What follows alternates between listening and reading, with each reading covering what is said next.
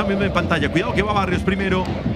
Viene Barrios, cara a cara, Ógana con Inestrosa. Está más cerca de América en este instante. Va para Candelo, está buena. Pase al área, Olga,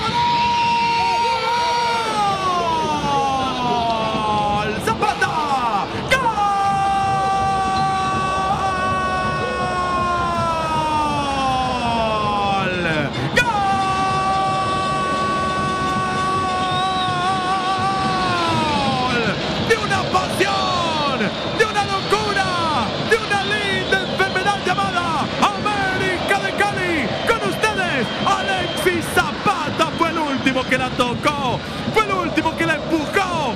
En este instante estaba más cerca de América. Ya lo había dicho Richie, señoras y señores. Tan mano a mano con Barrios.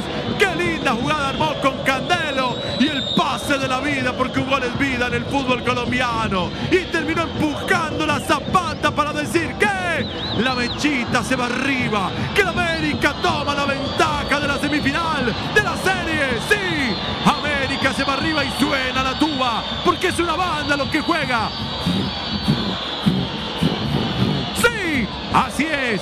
Este es el América y en Halloween una cosa es invocar al diablo. Otra verlo cuando aparece. Se apareció el diablo y ahora América 1. Bucaramanga 0 Fútbol y Winplay.